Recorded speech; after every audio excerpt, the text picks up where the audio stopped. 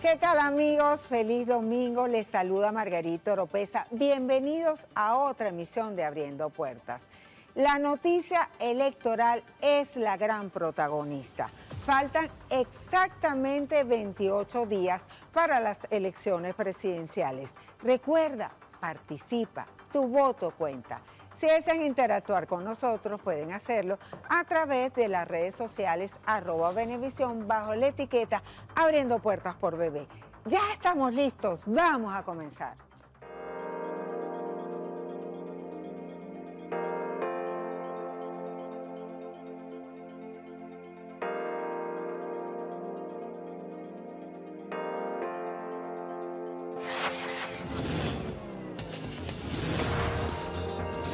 Abriendo puertas. Nuestro invitado en el día de hoy es José Brito, candidato presidencial del partido Primero Justicia.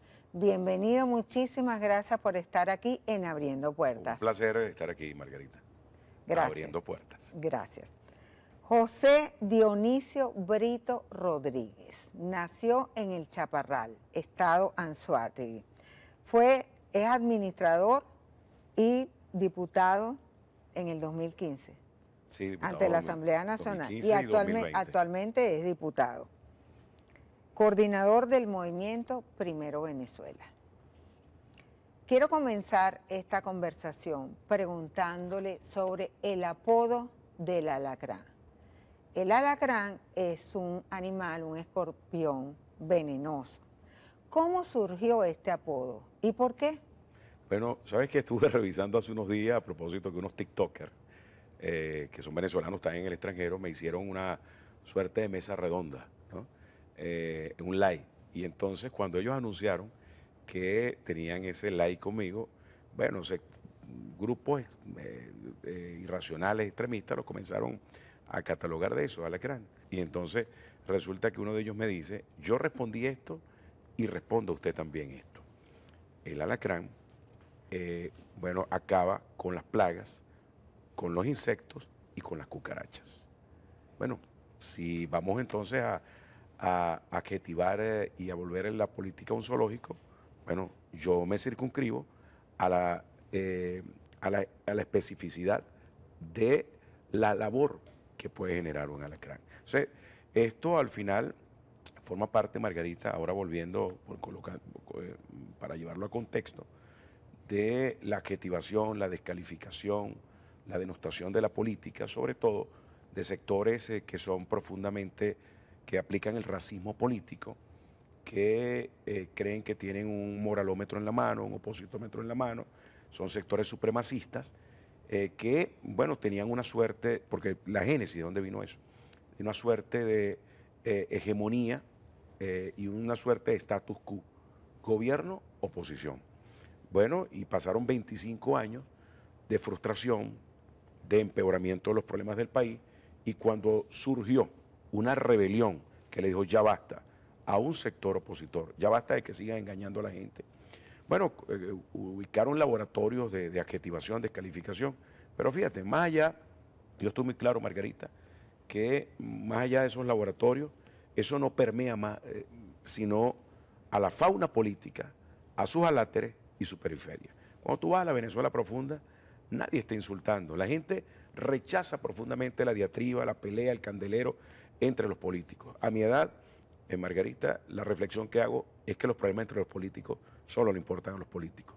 Mientras los problemas de la gente transcurren en el día a día y la, la gente espera es un camino, una oportunidad para encontrar una solución para Venezuela.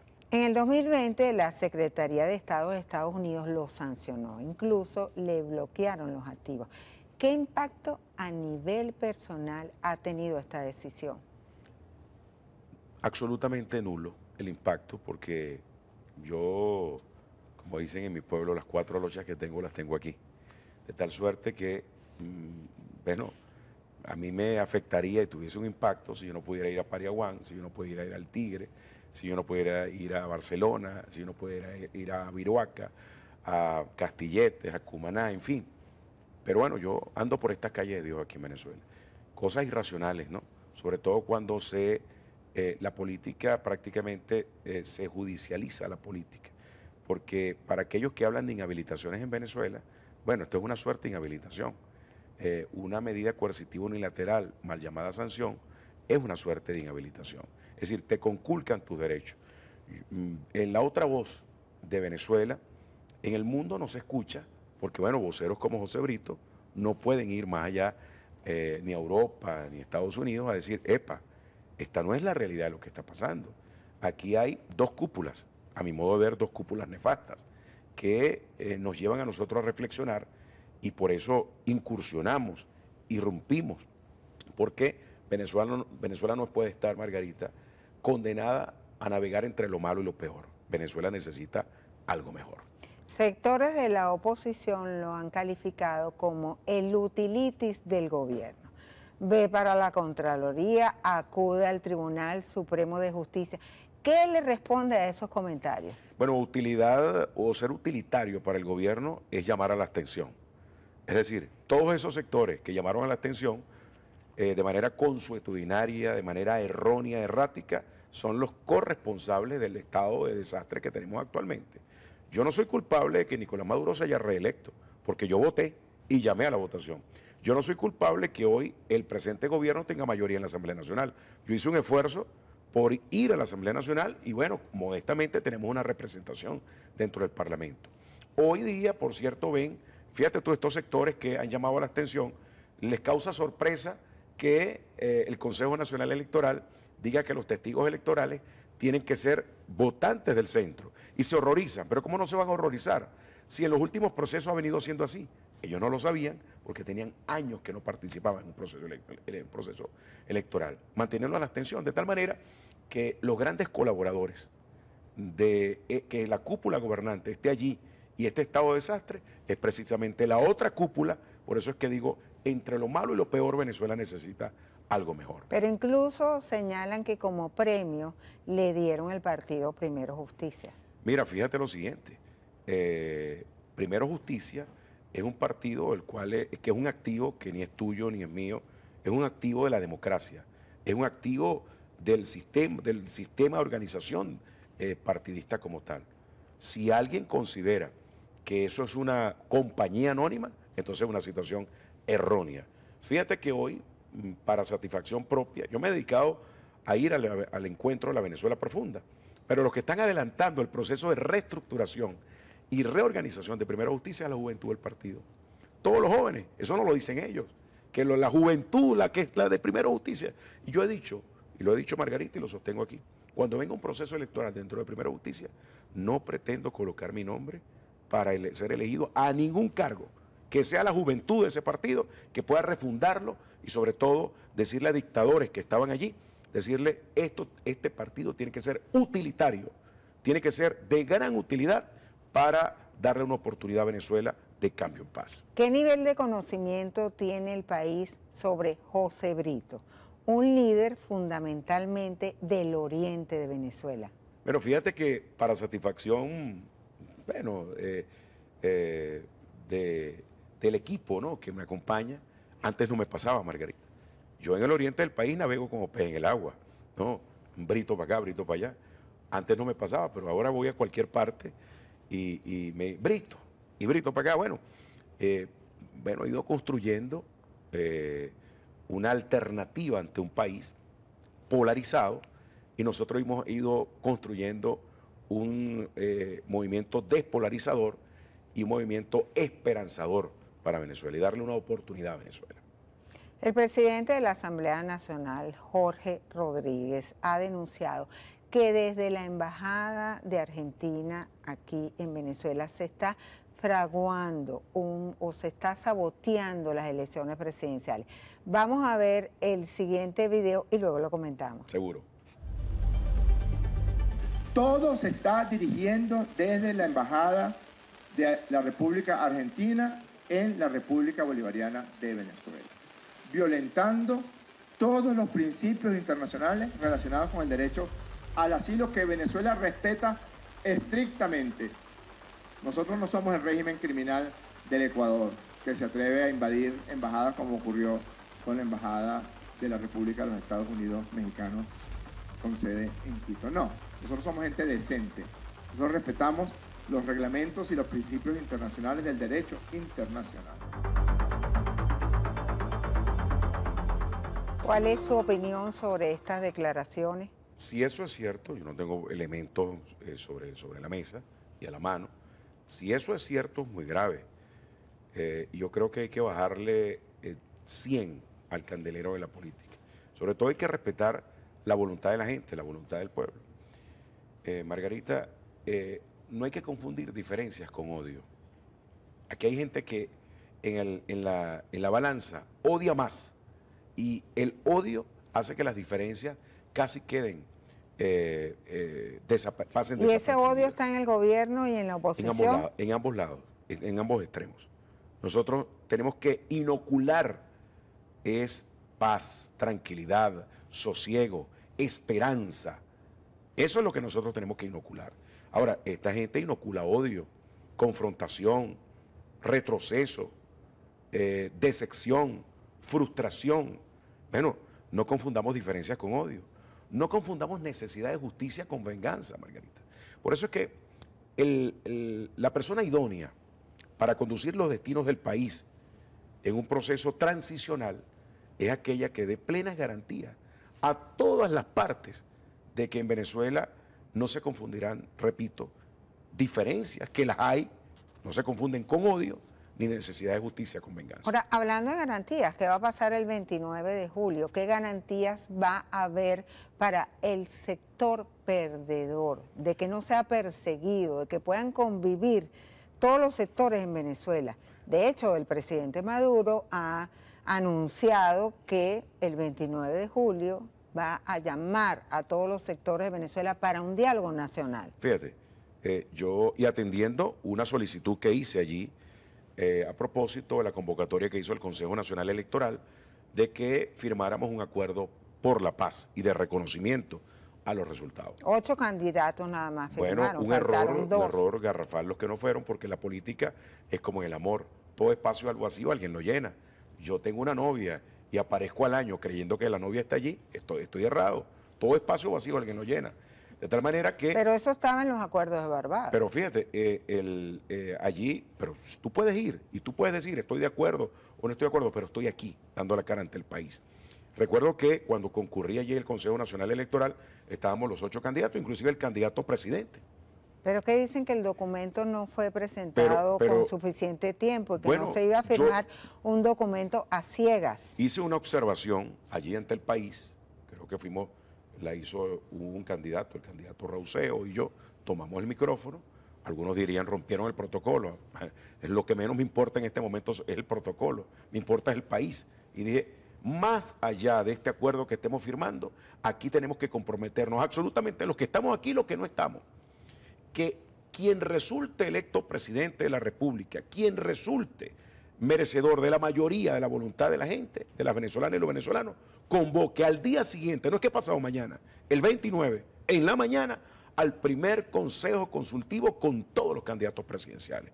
Porque aquí tenemos que tocar temas sensibles. Lo económico, nosotros tenemos un plan, el plan B, la economía humana poner a la mujer y al hombre en el justo centro del desarrollo humano y no las cifras como lo, como lo importante. ¿Por qué no se han dado a conocer los programas de gobierno? Bueno, eh, nuestra tesis a partir, mira, nosotros hemos hecho una campaña donde lo preponderante es el programa de gobierno. Brito es el plan B, para que la gente diga, ¿y qué es el plan B? El plan B es economía humana, el plan B es que revisemos, por ejemplo, la pertinencia de las prestaciones sociales, yo estoy de acuerdo en eliminar las prestaciones sociales y que hay una escala salarial entre 500 y 1000 dólares mensuales. Entonces, bueno, que ganemos 1000 dólares mensuales y que una vez que el trabajador cumple, hombre, mujer, 60 años, por cierto que pase a jubilarse de manera voluntaria y no forzado, si yo tengo 65, 70 años y todavía me considero con condiciones, Vamos puedo seguir laborando. Nos acompaña el diputado José Brito, candidato presidencial de Primero Justicia. Ustedes quédense allí, ya venimos en Abriendo Puertas. Abriendo Puertas. Continuamos en Abriendo Puertas conversando con José Brito, candidato presidencial de Primero Justicia. El jefe de la oposición conservadora en España, Alberto Sánchez Feijó, advirtió que en Venezuela no va a haber elecciones ni justas ni libres. ¿Qué opinión le merece estas afirmaciones? Aquí no vamos a una fiesta electoral, aquí vamos al fragor de una lucha eh, democrática, electoral, a una lucha donde un sector está tratando de despolarizar este país, de que haya un cambio en paz, y hay dos sectores que quieren mantener la confrontación y el candelero dentro del ejercicio de la política en Venezuela y que eso trae además unas consecuencias nefastas en el ámbito no solamente político, sino lo peor en lo económico y en lo social. Pero bueno, arrieros somos, en el camino andamos. Yo eh, eh, internalizo algo, para ganar hay que tener votos. Y realmente aquí en Venezuela, más allá de las adversidades, más allá, que por cierto, Margarita, esta es la campaña más austera en los últimos años, en las últimas. Y la más corta también. la más corta y la más austera. Aquí, es, aquí se está haciendo campaña con lengua, con saliva y con tacón. Lengua, saliva y tacón. Es la verdad. Y ojo, y no estoy diciendo José Brito, es que tú puedes ver el, el contexto de todo el abanico de opciones y es una campaña que además denota que lo que hay, eh, bueno, dos propuestas de confrontación y hay una propuesta ante el país de despolarizar y de que haya una oportunidad para un cambio en paz en Venezuela. Sobre la observación internacional, definitivamente la Unión Europea no vendrá, la ONU sí, el Centro Carter también. ¿Cómo ha visto este proceso de la observación internacional? Que viene, que no viene, que los invitamos, los desinvitamos. ¿Qué opinión le merece todo este proceso? Mira, es que yo lo que siempre le, le he cuestionado a la comunidad internacional es que en un país tan conflictuado, en un país con tanta confrontación, sean parte de la solución y no se conviertan en parte del conflicto. Lamentable y desafortunadamente, eh, Margarita, hay sectores en la comunidad internacional que son parte del conflicto. Cuando tú eres parte del conflicto, tú atizas y tú echas más leña al fuego. ¿Qué sectores son parte del conflicto? Por ejemplo, sectores de la Unión Europea que aquí han sancionado, aquí han emitido sanciones en este país, individuales sanciones. Bueno, sectores del Departamento de Estado norteamericano. Es decir, cuando tú tomas partido y en función de eso te parcializas y, entras a, lanzar más leña al fuego. Pero también los presidentes Petro y Lula Silva han hecho recomendaciones sobre el proceso electoral. Pero un tema son las recomendaciones, pero yo, yo no los he visto sancionando. Yo no los he visto hablando de medidas coercitivas unilaterales. Entonces, realmente yo no los he visto apoyando eh, la locura del gobierno eh, como un interinato. Porque al final eso, Margarita, lo que termina es dándole narrativa al gobierno le termina dando eh, argumentos al gobierno y esos argumentos los utiliza en función de decir, yo no tengo la culpa, la culpa es de la vaca. Ahora, ¿usted cree que los demonios están sueltos en la derecha? Estas son afirmaciones del presidente Nicolás Maduro. ¿Están sueltos los demonios? Los demonios están sueltos en la derecha y en la izquierda, en un sector de la oposición y en ese sector del gobierno. Yo a ellos les diría, bueno, bueno, vamos a, orar, vamos a, a, hacerle un exorcismo de verdad a esos demonios que significan esas cúpulas nefastas, que esa confrontación se le metió a la gente en el plato de comida. ¿Es usted un pataruco?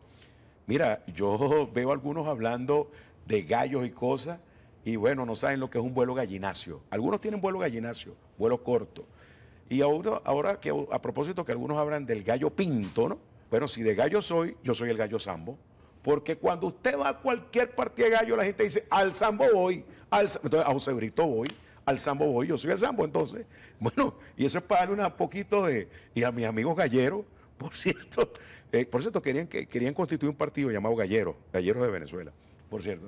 a los galleros de Venezuela, al, gambo, al gallo pinto le digo, aquí está el sambo, al sambo voy, porque donde hay un sambo no hay ni pinto ni pataruco que se le atraviese. El candidato presidencial Antonio Ecarri ha retado al presidente Maduro a un debate. ¿Con cuál de los candidatos a usted le gustaría debatir?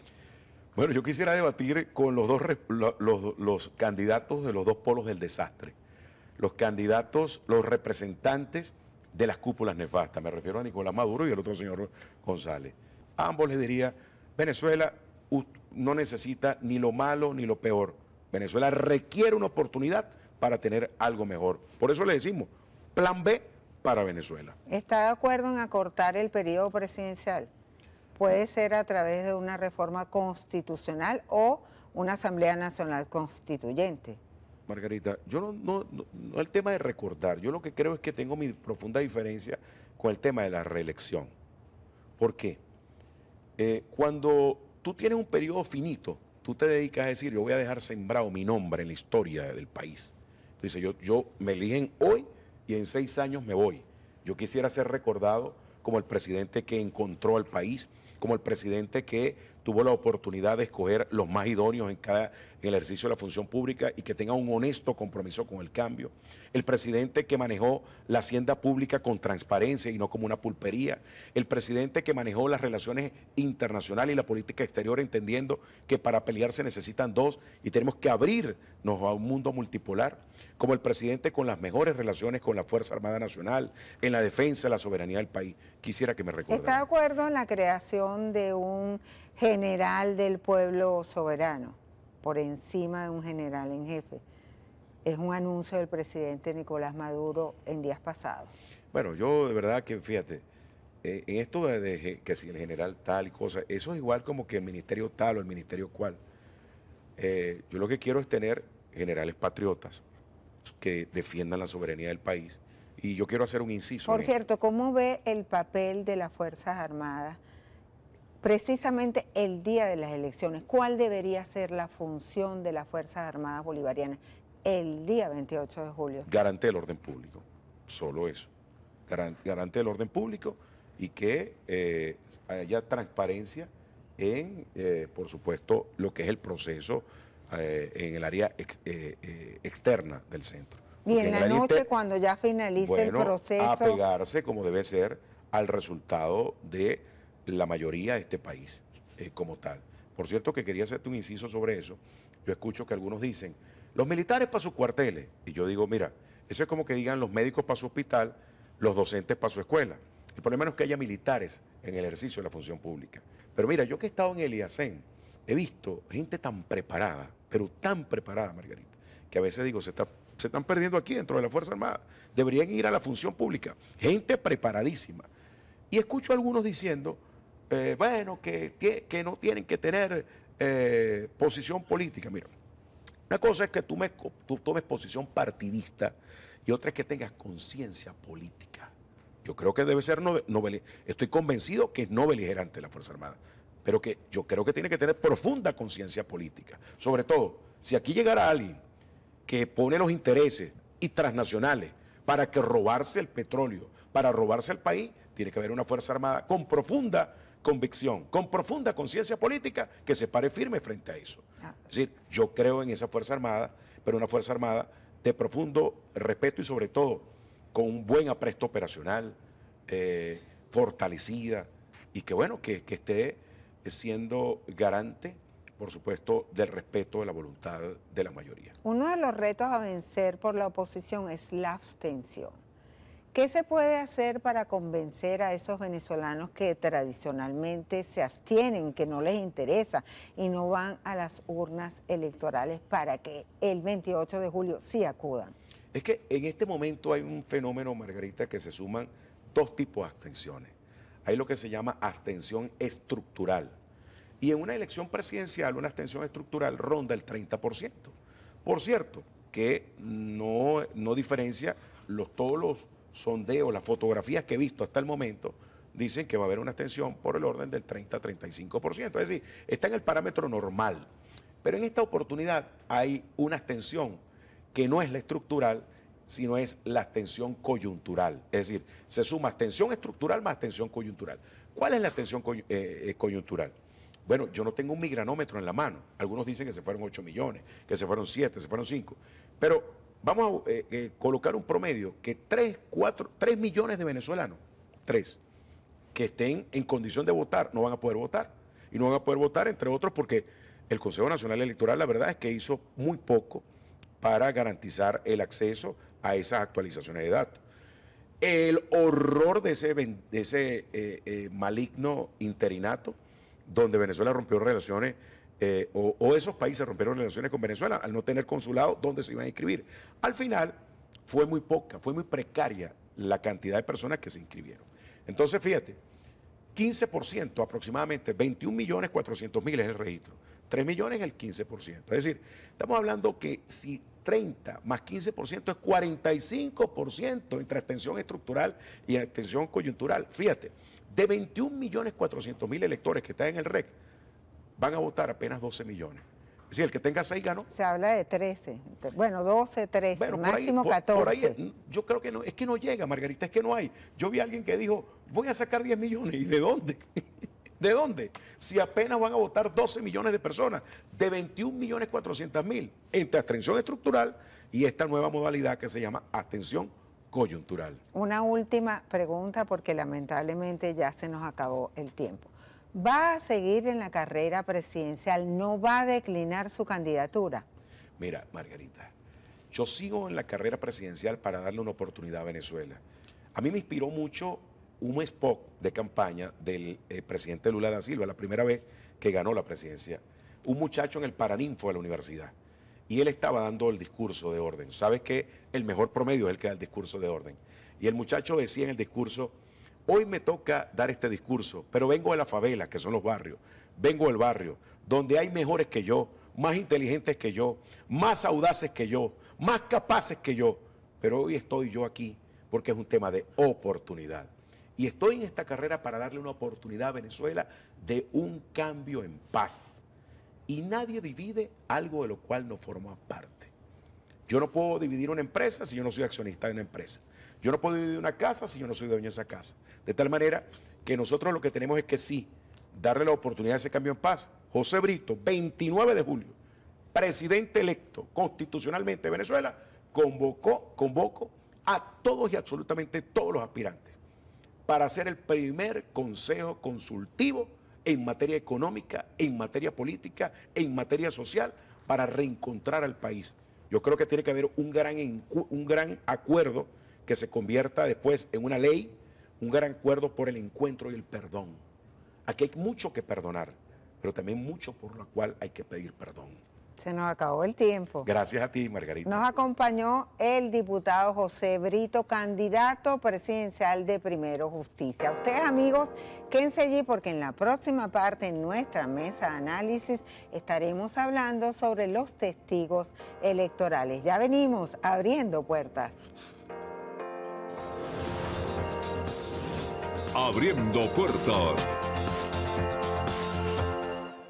El Consejo Nacional Electoral sorprendió a los partidos políticos con una resolución sobre los testigos.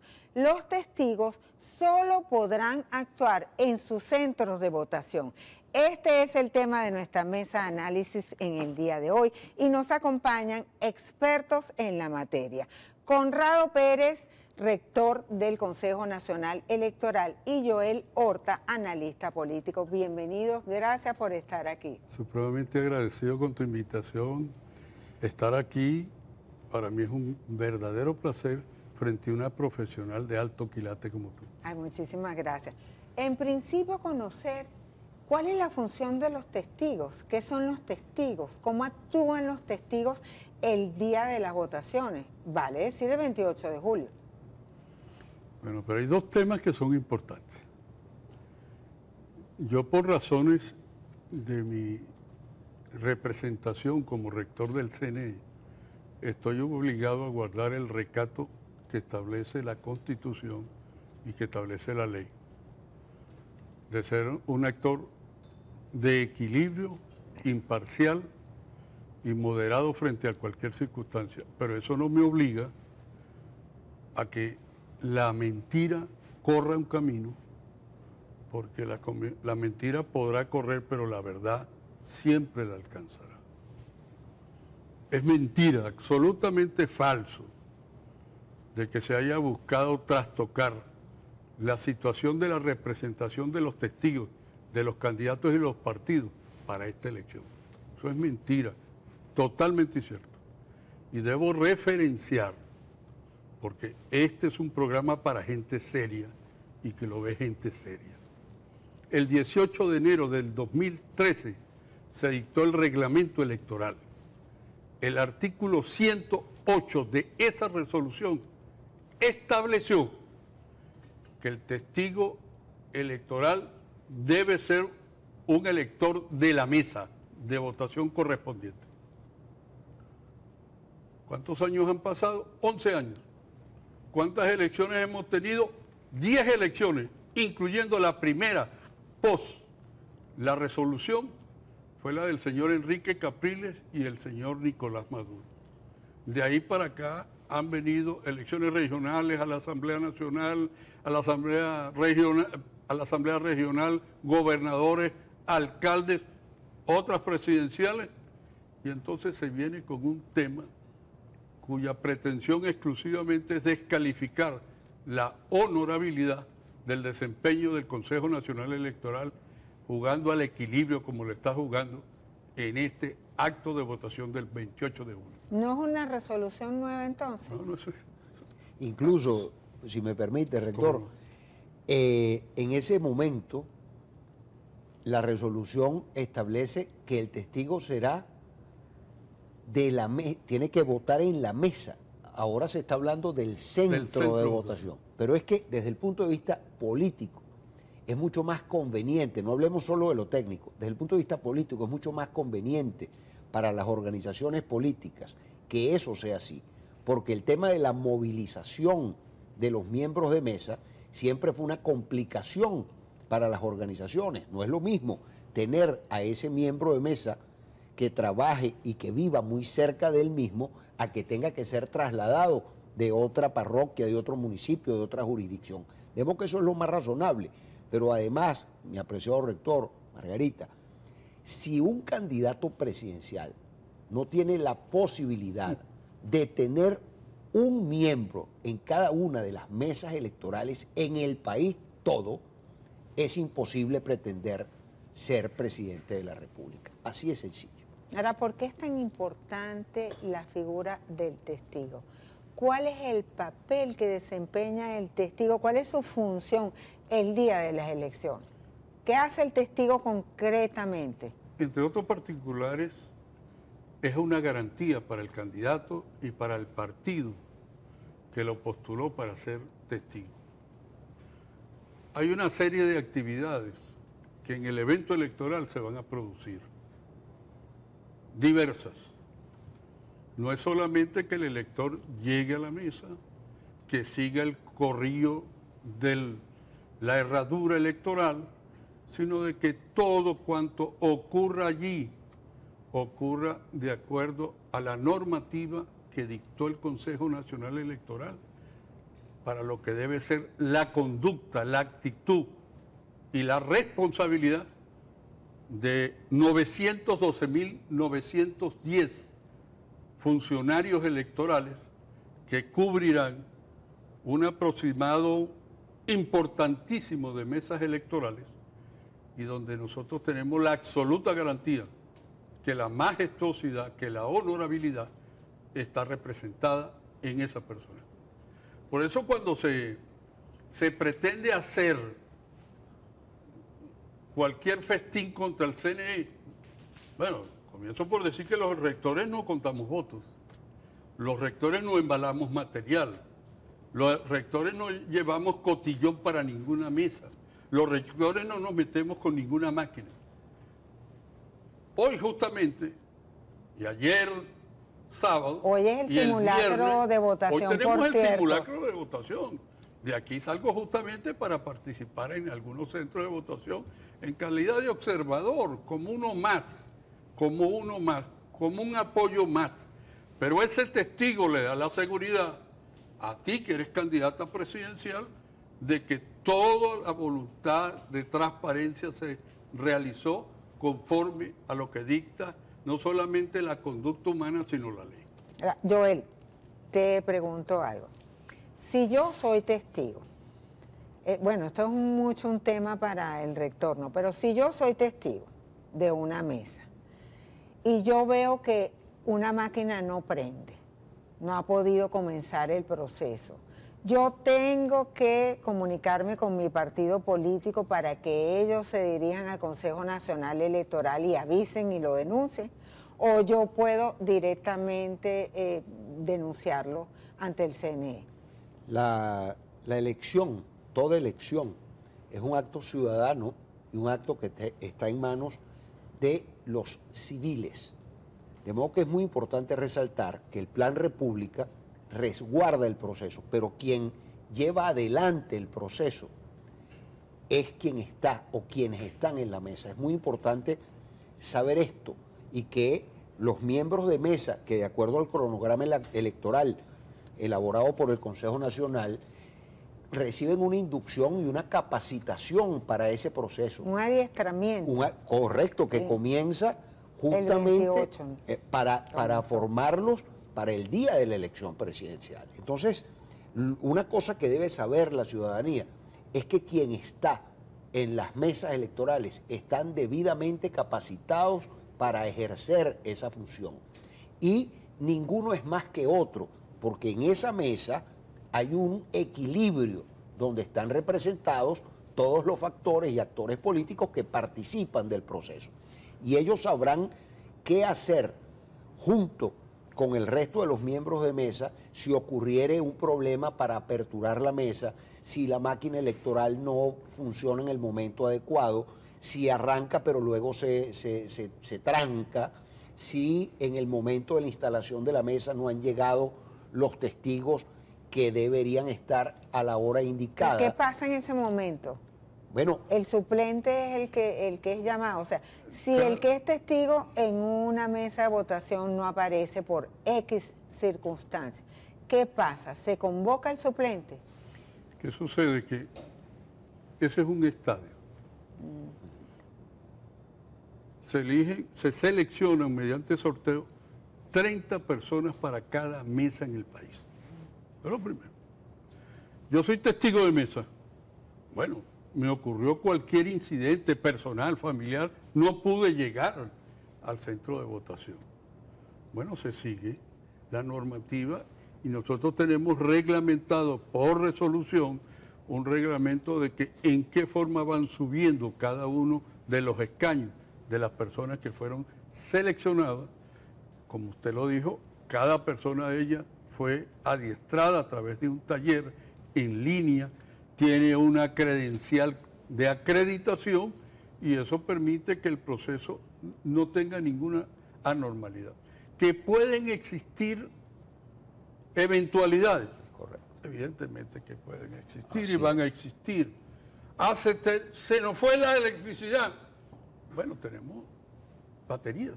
Están preparados para eso. Eh, todo eso se Eventualmente tiene, ocurra un- una eso falla está de contemplado. electricidad. todo eso está contemplado, con la excepcionalidad que tenemos centros inhóspitos, centros donde no hay ningún tipo de Del comunicación. Tamacuro, Amazonas. Muchísimo. Hasta aquí mismo en el Táchira tenemos donde hay que ir a caballo, hay que meterse en el río, etcétera, etcétera. El trabajo ese es demasiado acreditado y de, y de- y de una gran sensibilidad social y humana de quienes lo realizan para que nosotros mañana podamos elegir con transparencia a quién va a ser el próximo presidente de la República. Tenemos que hacer una pausa. Estamos en nuestra mesa de análisis hablando sobre los testigos y también sobre el cronograma electoral de cara a las elecciones del 28 de julio, que es allí, ya venimos abriendo puertas. Abriendo puertas. Continuamos en Abriendo Puertas, conversando sobre el cronograma electoral. Nos acompañan el rector Conrado Pérez del Consejo Nacional Electoral y Joel Horta, analista político. ¿Cuál es la diferencia entre un testigo y un miembro de mesa, rector? Hay una circunstancia. Los miembros de mesa los elige o los selecciona mediante sorteo público el Consejo Nacional Electoral. Los testigos de mesa representan la tendencia o bien del candidato o bien del partido. El Consejo Nacional Electoral se ocupa, desde este 28 está ocupado hasta el 27 de julio, de capacitar a cada uno de las personas que forman el componente de la estructura electoral.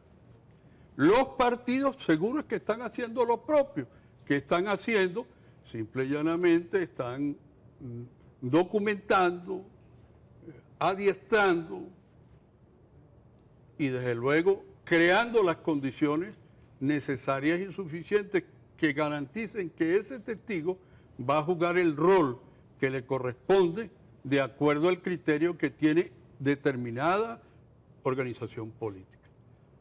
Ambos están en cada estadio. Estos son absolutamente independientes. El que es testigo está representando una tendencia que por eso no le desmejora ni le debilita su condición. Él tiene el derecho a voz, a manifestar, a exigir y a solicitar el cumplimiento y el acatamiento siempre del principio legal y constitucional de la elección. Ahora, Joel, ¿cómo ves tú esto de los testigos? una cosa que es importantísima, la necesidad de que el testigo esté hasta el final y tenga el acta de, votación de esa mesa en la mano. Los partidos, las organizaciones políticas que participan en el proceso, que preparan a sus testigos electorales, lo hacen de la forma más conveniente posible. Por eso vemos cómo hace mucho énfasis en la llegada muy temprana al centro electoral de cada uno de esos testigos y convocan también a su propio electorado a que lo hagan en, en horas tempranas. Sin embargo, guardan también estrategias de operaciones finales cuando ya va a cerrar el centro porque los exit poll hay una cantidad de información estadística que permite que las organizaciones eh, administre también la movilización de la gente a los centros de votación. Los testigos, vemos cómo están hablando en el sector oficial, por ejemplo, del 1 por 10 por 7. Y observamos también cómo en el sector opositor se habla del 1 por 10. Esto es una, una, una vieja usanza, diríamos, de los partidos y anteriormente se hablaba de la operación Mosca, de la operación Remolque, de la operación Relámpago, de la operación Satélite. Hoy día se siguen utilizando estos métodos y estos mecanismos. Afortunadamente, por el tema tecnológico, también se permite que los procesos sean mucho más rápidos y auditables por parte de las propias organizaciones políticas, de los comandos de campaña y por supuesto del gran ductor de este proceso, que es el Consejo Nacional Electoral. Por eso hay que advertir la buena fe con la que trabajan los rectores del Consejo Nacional Electoral, el Consejo Nacional Electoral como cuerpo y cada una de las organizaciones políticas. Por eso es incomprensible que se pueda estar hablando de poca seriedad, de fraude electoral, de la convocatoria a, permanecer en el centro solamente por la posibilidad de exacerbar alguna condición distinta a la democrática y al ejercicio del voto. Yo creo que hay que ser absolutamente responsable para que este proceso se conduzca en sana paz y lleguemos nosotros el día 28 próximo de julio a establecer quién será nuestro próximo presidente de la República en el nuevo periodo presidencial con la tranquilidad que vamos a un proceso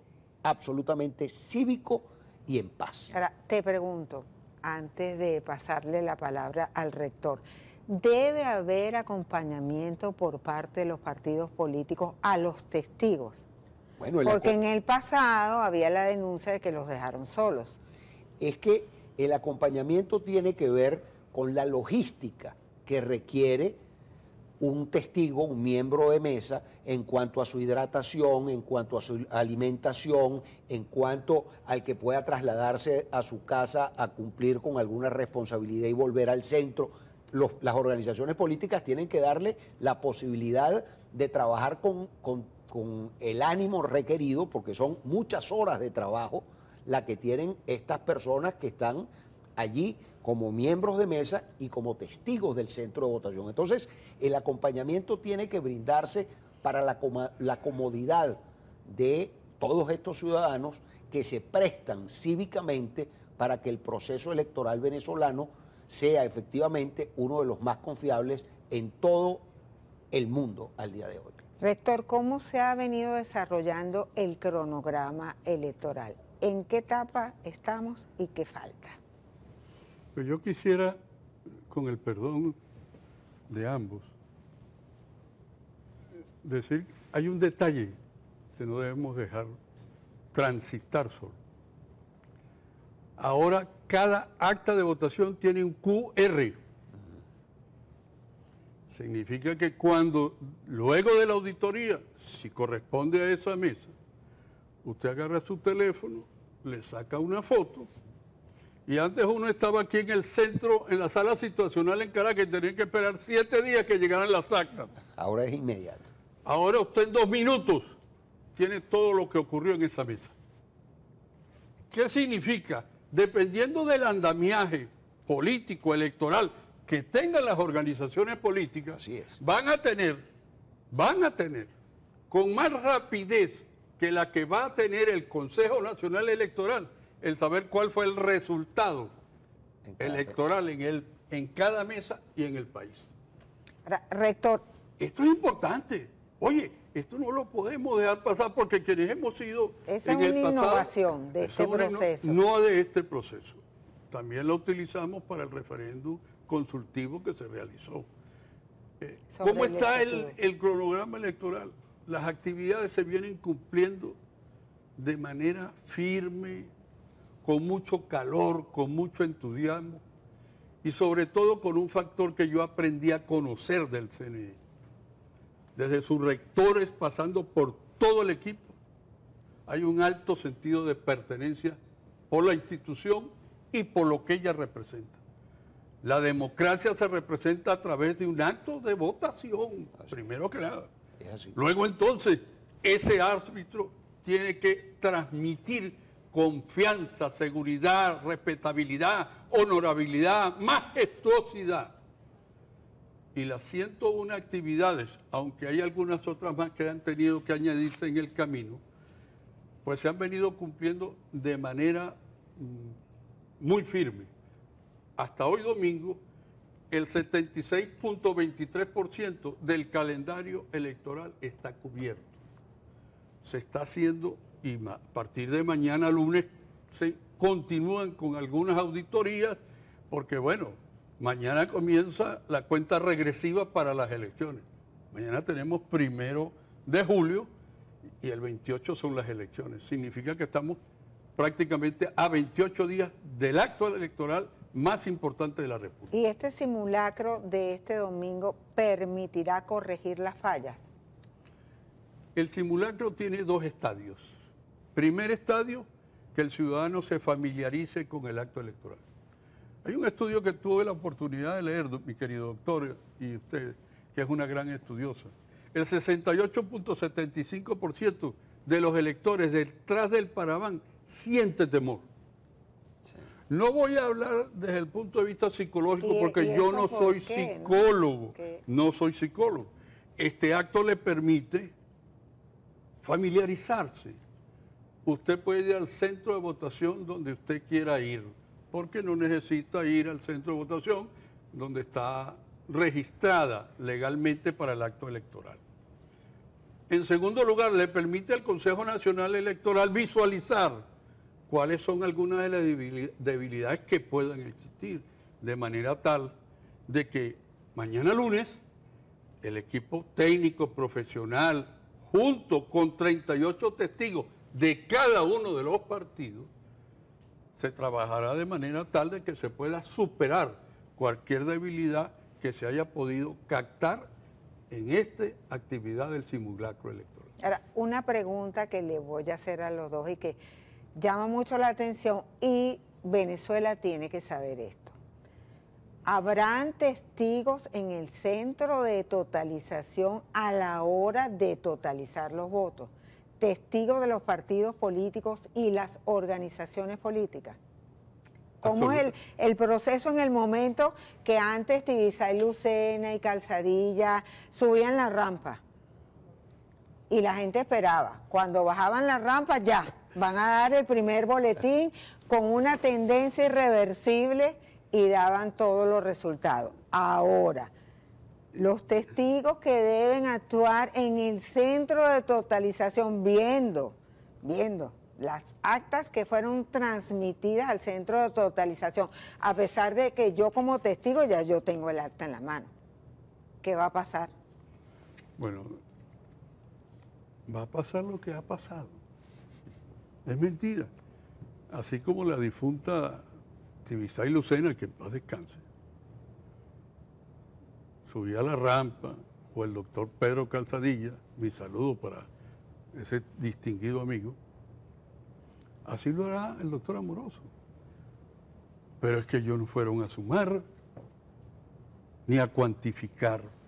Ahí hay un equipo y ahí hay testigos de cada una de las 38 organizaciones políticas que postularon candidatos a presidente de la República. Todos, absolutamente todos, porque como te dijera, los rectores no contamos votos.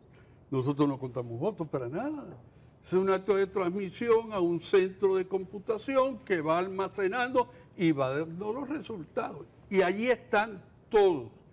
Y van a estar, si es un día, si es dos días, que vayan a estar porque, bueno, la gente en ocasiones, nosotros somos nerviosos para eso.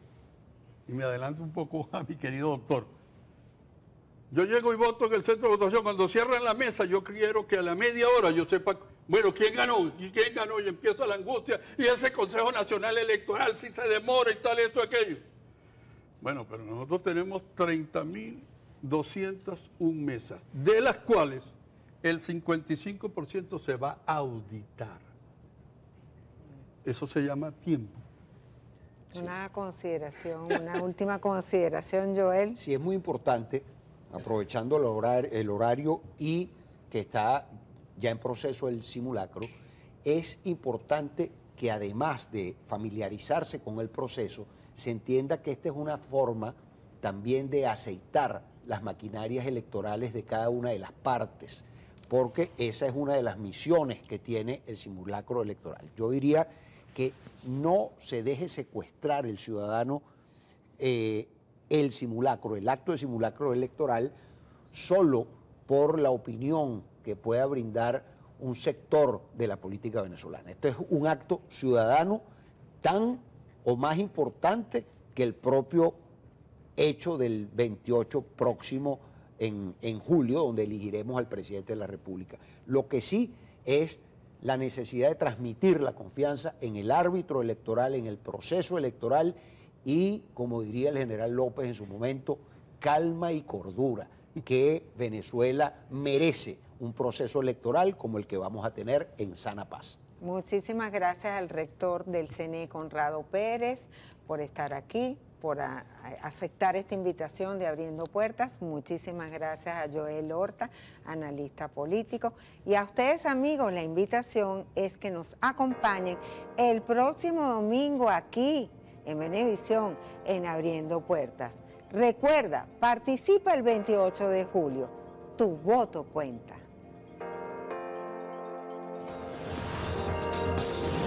Abriendo puertas